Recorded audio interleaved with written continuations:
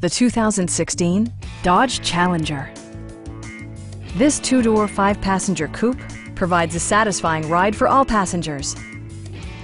Dodge made sure to keep road handling and sportiness at the top of its priority list. It features an automatic transmission, rear-wheel drive, and a refined six-cylinder engine.